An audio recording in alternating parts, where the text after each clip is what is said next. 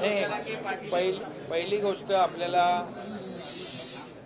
माझी सगळ्यांना विनंती आहे मराठा समाजाच्या समन्वयकांना पण विनंती आहे आणि मराठा क्रांतीचे कार्यकर्ते आहेत त्या सगळ्यांनाच एकंदरीत मराठा समाजाला माझं आव्हान वजा विनंती आहे आणि आपल्या मीडियाला देखील विनंती आहे. की परवाची जी प्रेस कॉन्फरन्स झाली परवा रात्री म्हणजे उशिरा आपण एक बैठक घेतली सह्याद्रीमध्ये. आतापर्यंतच्या इतिहासामध्ये सर्वपक्षीय बैठक मराठा समाजाला आरक्षण देण्यासंदर्भातली आणि जालनाच्या मनोहर जरंगे पाटील यांच्या उपोषणाविषयी. एक साधक बाधक चर्चा त्या बैठकीमध्ये झाली. आणि एकंदरीत राज्यात जी कायदा सुव्यवस्था शांतता प्रस्थापित झाली पाहिजे हे पुरोगामी आपलं राज्य आहे. या राज्यामध्ये सर्व जाती धर्माचे लोक गुण्यागोविंदाने राहत आहेत.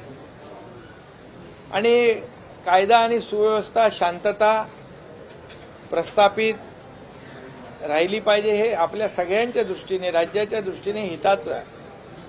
आणि त्या दृष्टीने हे जे काही आंदोलन आणि आरक्षण या बाबतीमध्ये सर्व पक्षीय बैठक झाल्यानंतर मी आणि उपमुख्यमंत्री देवेंद्र फडणवीसजी उपमुख्यमंत्री अजितदादा पवार आपल्याशी देखील आम्ही चर्चा करायला आलो.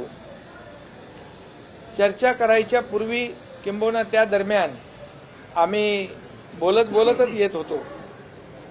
परंतु त्यामध्ये जी चर्चा ज्या मुद्द्यावर झाली आणि जी अतिशय पॉझिटिव्ह आणि सकारात्मक आणि प्रॅक्टिकल मुद्द्यांवर चर्चा झालेली आपण त्या मुद्द्यावरच बोलूया.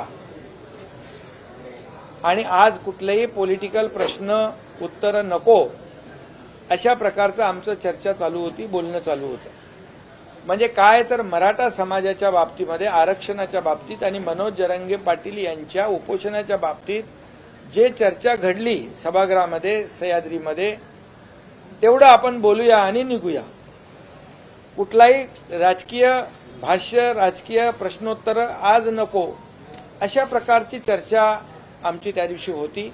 परंतु आज जे काही सोशल मीडियाच्या माध्यमातून आपल्या मीडियाच्या माध्यमातून काही जे लोक त्या शब्दाचं पुढचं मागचं शब्द काढून नेमकं जेवढा मतितार्थ त्याच्यामधला म्हणजे त्याच्यातला लोकांच्यामध्ये संभ्रम निर्माण होईल मराठा समाजामध्ये एक संभ्रमाचं वातावरण होईल की सरकार आपल्या मराठा समाजाच्या आरक्षणाच्या बाबतीमध्ये किती गंभीर आहे.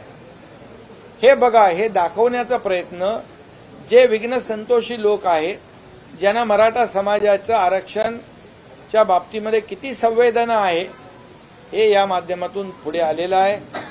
मला तर मी तर एवढं सांगेन की जेव्हा मराठा समाजाला आरक्षण देवेंद्र फडणवीस साहेबांच्या मुख्यमंत्री काळात दिलं त्यांच्यासोबत मी मंत्री होतो आणि दिलेलं आरक्षण हायकोर्टाने देखील कन्फर्म केलं होतं दुर्दैवाने सुप्रीम कोर्टामध्ये ते टिकू शकलं नाही. कुणाच्या कुणाचं अपयश कुणाच्यामुळे आज मी ते इथे बोलू इच्छित नाही. परंतु संपूर्ण आरक्षण जे रद्द झालेलं मिळालं पाहिजे या भूमिकेतून सरकारची भूमिका स्पष्टपणे त्या बैठकीत मांडली गेली. त्याचबरोबर आरक्षण रद्द झाल्यानंतर मराठा समाजाला देखील माहीत आहे जी तीन हजार सातशे अधिसंख्य पदांवर नियुक्त्या देण्याचं धाडस कोणी करत नव्हतं.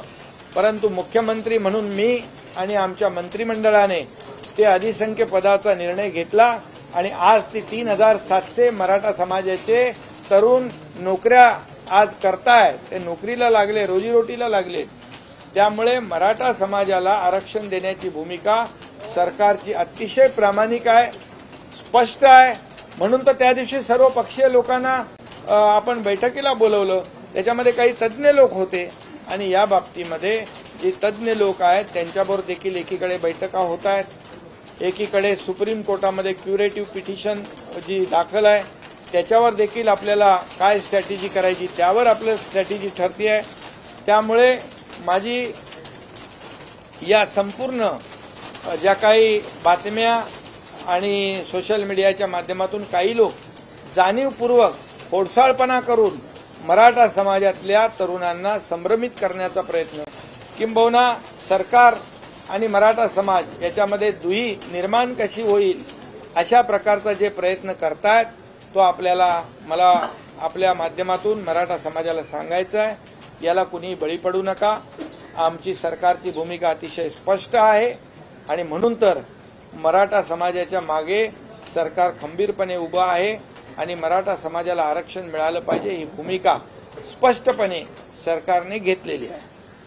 त्यामुळे कुणाच्याही अपप्रचाराला दिशाभूल करण्याच्या प्रकाराला मराठा समाजाने बळी पडू नये आणि जे लोक अशा प्रकारचं प्रयत्न करतायत त्यांनाही माझं आव्हान आहे विनंती आहे या राज्यामध्ये कायदा सुव्यवस्था आणि शांतता प्रस्थापित करण्यासाठी आपण अशा प्रकारचा कुठलाही खोडसाळपणा करू नये. अशा प्रकारची त्यांनाही माझी विनंती. हिंदी हिंदी हिंदी आप आपका मतलब क्या था? का एक मतलब वीडियो वायरल किया जा रहा है उसको लेकर के आपका मतलब क्या था किस तरीके से? हाँ वो जब मराठा समाज को आरक्षण देना और मनोज जरंगे पाटिल इनका जो आंदोलन चल रहा है उसके बारे में सरकार पूरी तरह गंभीर थी। पूरी गंभीरता से सरकार उसके ऊपर काम कर रही है। और इसीलिए वहाँ पर सर्वपक्षीय नेता, सर्वपक्षीय बैठक बुलाई थी। बैठक देर रात तक चली और उसमें कई लोगों ने अच्छे सुझाव दिए। मनोज जरंगे पाटिल जी का उपोषण के बारे में और मराठा समाज को आरक्षण जो रद्द हुआ है सुप्रीम कोर्ट में, उसको फिर से रिस्टोर होना चाहिए, फिर से आरक्षण मिलना चाहिए।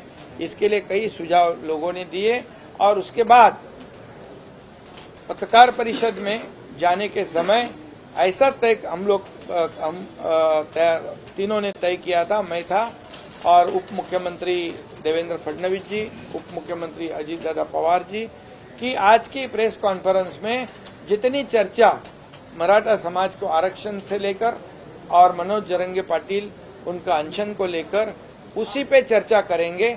आज कोई भी उतना ही कहेंगे, उतना ही बोलेंगे, और कोई भी आज पॉलिटिकल कोई भी प्रश्न उत्तर नहीं होगा। पॉलिटिक पॉलिटिकल कोई भी स्टेटमेंट हम नहीं करेंगे। ऐसा, ऐसी हमारी बात हो रही थी। लेकिन कई कुछ लोगों ने आगे पीछे का कट करके सिर्फ़ मराठा समाज के बारे में इनकी क्या भावना है सरकार की, ये तोड़ मरोड़ कर मराठा समाज या समाज में ऐसा संभ्रम फैलाने के लिए ये कोशिश उनकी है। वो कोशिश नाकाम होगी। क्योंकि मराठा समाज और यह महाराष्ट्र की जनता जानती है ये सरकार संवेदनशील है। मराठा समाज के आरक्षण को लेकर उनको मराठा समाज को आरक्षण मिलना चाहिए भूमिका सरकार की है। इसीलिए जब आरक्षण सुप्रीम कोर्ट में रद्द हुआ था तब 3,700 जो युवा है जो नौकरी जिनको सिलेक्शन हुआ था लेकिन अपॉइंटमेंट नहीं दी थी उनको अपॉइंटमेंट देने का काम सरकार ने किया है। या देवेंद्र फडणवीस जी जब मुख्यमंत्री थे, अगर सरकार की भावना नहीं होती तो उनको आरक्षण देवेंद्र फडणवीस जी के कार्यकाल में दिया, वो हाईकोर्ट ने भी कंफर्म किया। दुर्भाग्य से सुप्रीम कोर्ट में वो रद्द हुआ। अभी उस राजनीति में मैं जाना नहीं चाहता हूँ, कौन जिम्मेदार है, किसका फेल्यूर है, लेकिन ये सब लोग जानते हैं। और इसीलिए जो तोड़ मरोड़ कर जो स्टेटमेंट सोशल मीडिया पे और आपके माध्यम से मराठा समाज और मराठा युवा नेता और मराठा संघर्ष समिति, ये इनके और सरकार के बीच में कोई जो फैलाने की संभ्रम पैदा करने का काम या कोशिश जो कर रहे ये राज्य में कानून व्यवस्था बनाए रखना, सुव्यवस्था बनाए रखना, शांतता प्रस्थापित करना, ये हम सब लोगों का काम है। ये महाराष्ट्र पुरोगामी पुरोगामी राज्य है। और ऐसे जब समय आते हैं ऐसी घटना होती है, तब सभी लोगों को विश्वास में लेने का काम सरकार ने किया हुआ है। और जो ऐसा, ऐसी कोशिश कर रहे हैं, जो अपप्रचार करने की तो उनको भी मेरा आह्वान है, उनको भी मेरी विनती है कि ये मराठा समाज के बारे में ऐसी वैसी तोड़ मरोड़ कर कोई स्टेटमेंट जो आप न फैलाए, ताकि लोगों में संभ्रम पैदा हो। इसलिए फिर एक बार मैं कहूँगा मराठा समाज को आरक्षण देने के लिए सरकार कटिबद्ध है। और ये भी मैं कहूँगा किसी भी जाति पाति पर अन्याय नहीं करते हुए मराठा समाज को पहले जब आरक्षण मिला था वैसे ही आरक्षण मराठा समाज को मिलना चाहिए। इसलिए सरकार पूरी तरह गंभीरता से काम कर रही है। हैं। क्यूरेटिव पिटीशन के बारे में भी वहाँ पर भी उस लेवल पे भी काम शुरू है। पैरेलली जो दूसरा जब पहले मराठा आरक्षण दिया था, वो डेडिकेटेड कमीशन के माध्यम से उस पे भी काम शुरू है। और निश्चित रूप से मुझे यकीन है कि मराठा समाज का खोया हुआ जो रिजर्वेशन है, वो देने का काम सरकार पूरी तरह उसकी कोशिश कर रही है।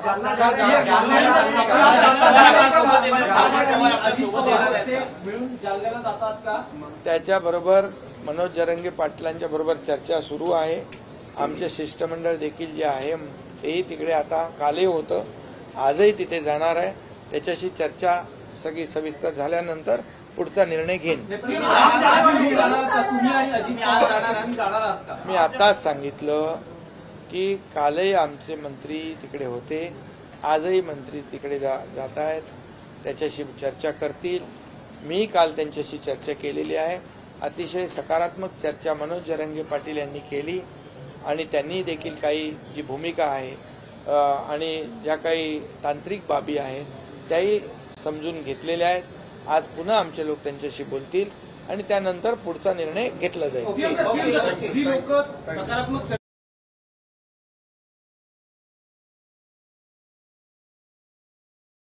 हा.